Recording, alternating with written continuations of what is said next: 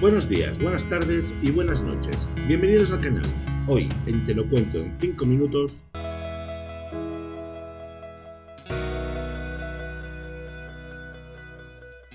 Hoy encontrada en un tatami tenemos Karate Kid, film dirigido por John G. Avildsen y protagonizada por Ralph Macchio, Pat Morita, Elizabeth Shue, William Zabka, Brandy Heller y Martin Koff, con una duración de 126 minutos del género drama, fue estrenada en 1984. Esta historia empieza cuando Daniel LaRusso que llega a Los Ángeles tras la mudanza por el trabajo de su madre Lucille. Todo eso desde New Jersey a la siempre calurosa California. El edificio en Reseda está hecho una ruina. Se cae a pedazos. Tiene una piscina sin agua y un grifo roto. Todo eso hace que Daniel tenga que buscar trabajo y acaba en casa del señor Miyagi. Y queda con él, para que el primer día vaya a arreglar algo. E irá, pero después. Y cuando digo después, es bastante después, ya que está muy ocupado haciendo pues eso. Nada. En la escuela, enseguida le hace tilín Ali. Pero también conoce al ex de ella, Johnny Lawrence. Bueno, en realidad no es tan ex, al menos cuando la conoce. Y claro, él se mosquea y no ve en Daniel más que un saco de boxeo para descargar todo lo aprendido en Cobra Kai, una escuela de karate dirigida por el sensei John Creasy, que le enseña a pegar primero, a pegar duro y sin piedad. El tipo es todo un veterano de guerra que solo ve enemigos en todas partes, y así se lo transmite a los impresionables adolescentes encabezados por Johnny Lawrence. Como Daniel recibe día sí y día también por parte de los Cobra, decide empezar a hacer karate por su cuenta, o todo lo que un libro puede enseñar. Hasta que un día recibe la paliza de su vida de manos de cinco cobras, donde se ve mostrando la naturaleza de cada uno. Tommy y Dutch apuestan por llevar hasta el final lo aprendido por su sensei, sin piedad, mientras que Bobby y Jimmy creen que es mejor parar al ver que ya no puede tenerse en pie. Por supuesto, Johnny escucha a los primeros, pero luego aparece el Salvador de Daniel, el mismo Spider-Man, que deja con un brazo roto a algunos y el ojo amoratado a otros. Daniel no puede creerse quién es su salvador, el mismísimo señor Miyagi. Resulta ser un experto en karate y en consecuencia Daniel acaba apuntándose al campeonato que tendrá lugar a finales de invierno para enfrentarse a los Cobra de uno en uno, entrenado por supuesto por el señor Miyagi. Eso sí, en el trato de que Daniel se apunte al campeonato incluye que los Cobra no deben pegarle, para que él pueda entrenar tranquilo. Pero acaba de nacer una rivalidad más enfermiza aún, la de Chrissy hacia el señor Miyagi. Y bueno, cuando digo entrenar también digo acercarse a Ali. La cosa es que por fin podrá tener una cita con ella, aunque procedan de mundos diferentes. Ella vive en una de las zonas más ricas del valle, mientras que él tiene que empujar el destartalado coche de su madre para que éste arranque. Lo que Daniel San no espera es el método tradicional que tiene Miyagi de entrenar, y el muchacho acaba dando cera y puliendo cera en todos los coches que tiene Miyagi en su casa. Y nunca entendí por qué tiene tantos, pero bueno, son cosas mías.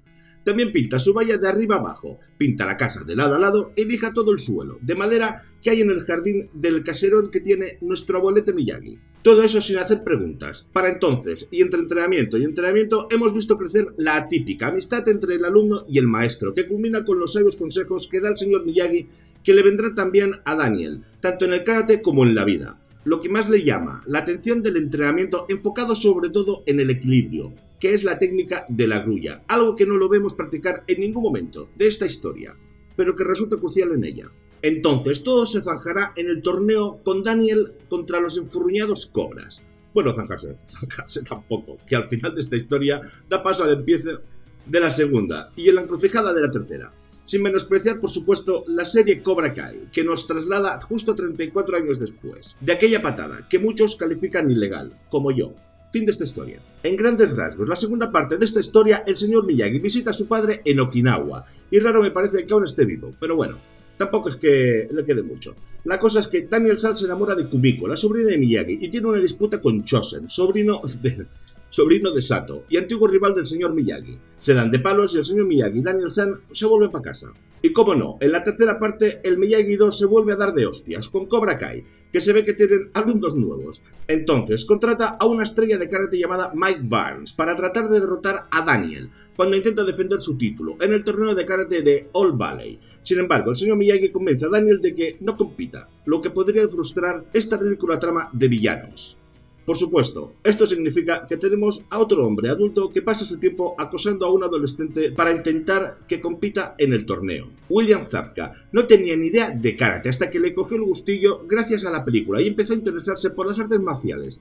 Va a tener razón Barney Stinson, y él es el verdadero Karate Kid.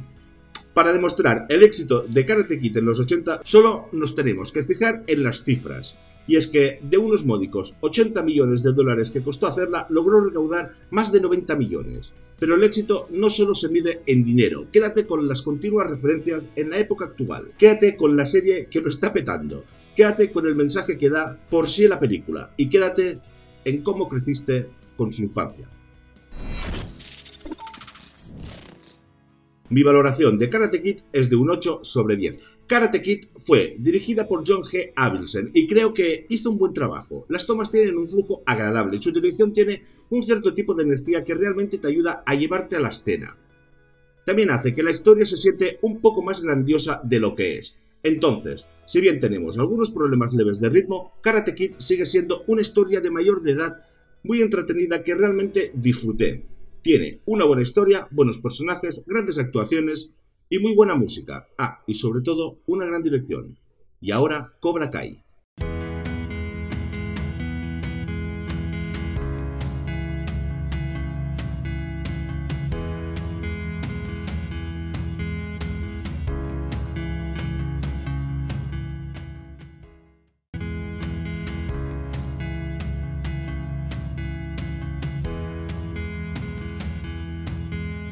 Hoy vista 34 años después tenemos Cobra Kai, serie dirigida por varios creadores y protagonizada por William Zabka, Ralph Macho, Courtney Hengeler, Cholo Maridueña y Martin Koff, con una duración de 30 minutos por capítulo, fue estrenada en el 2018. Pues eso, 34 años después de ser derrotado por Daniel Laruso en el torneo de Karate Kid de All Valley de 1984 por una patada ilegal, según algunos, Johnny Lawrence, ahora con 50 años, trabaja como manitas a tiempo parcial y no es que se le dé muy bien, la verdad. Ahora vive en un apartamento en Reseda, Los Ángeles, después de haber caído lejos del estilo de vida rico de su padrastro abusivo. Ahora, Johnny tiene un hijo llamado Robbie, con su exnovia Shannon, pero los abandonó a ambos cuando nació Robbie. Johnny, sí, es cierto, nunca se ha recuperado de su ruptura con su novia de la escuela secundaria Ali Mills, Después de perder su trabajo, Johnny usa el karate para defender a su vecino adolescente Miguel Díaz de una pandilla de matones. Miguel, un joven asmático que vive con su madre soltera, Carmen, y su abuela, Rosa, le pide a Johnny que le enseñe a luchar. Inicialmente él es reacio, pero finalmente Johnny acepta y decide reabrir el dojo de karate Cobra Kai como una oportunidad para recuperar su pasado. Este acto reaviva su rivalidad con Daniel Laruso, ahora propietario de una cadena de concesionarios de automóviles de gran éxito. Daniel está casado con la copropietaria Amanda y tiene dos hijos, Samantha y Anthony.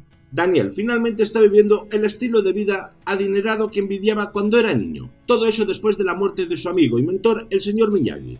Por otro lado, el dojo de Johnny atrae a un grupo de marginados sociales acosados, incluidos los nuevos amigos de Miguel, Aisha y Eli Moscovich, que más adelante se hará llamar Halcón. E inicialmente también tenemos a Dimitri, el anguila, quienes encuentran camaradería y confianza en sí mismos bajo su tutela, un marcado contraste con el tipo de estudiantes como Tommy, Bobby, Dutch, Jimmy y el mismo Johnny, que tuvieron cuando entrenaban en el Cobra Kai original dirigido por John Creasy. Hay mucho en esta serie y para aquellos de nosotros que crecimos en la década de los 80, este es el oro de los atracones. Sin embargo, uno de los grandes temas de la historia es la misericordia, y en particular cómo esta misericordia juega un papel en la formación de una generación joven.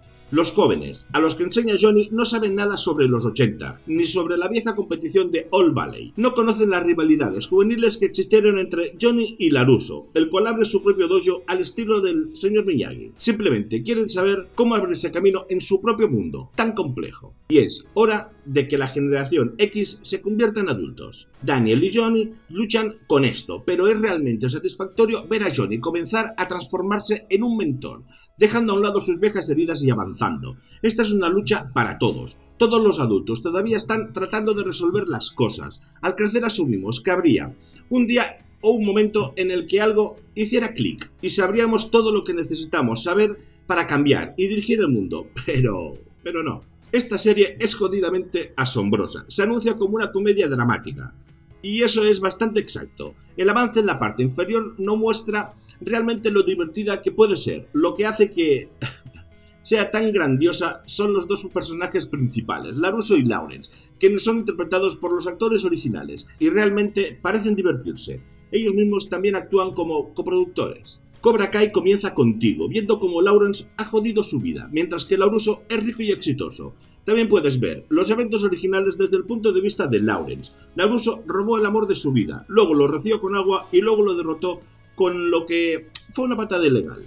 La teoría de que Laruso era el matón de Karate Kid fue algo que se expresó brillantemente en un episodio de Cómo conocí a vuestra madre, donde Barry está decepcionado de que su invitado sorpresa de cumpleaños sea Ralph Macho y no el verdadero Karate Kid, Johnny Lawrence. La cosa es que toda la dinámica entre los dos es excelente, los personajes están muy bien desarrollados, son reconocibles como los personajes originales y sus motivaciones son creíbles. Laruso es rico pero ridículamente competitivo y Lawrence todavía regaña a la gente por ser un blandengue y tiende a querer golpear a las personas con las que no está de acuerdo. Lo que funciona también es que ambos son muy agradables. En general, disfrute mucho de las tres primeras temporadas de Cobra Kai. La serie tiene un sentido definido de nostalgia, pero no depende demasiado de él.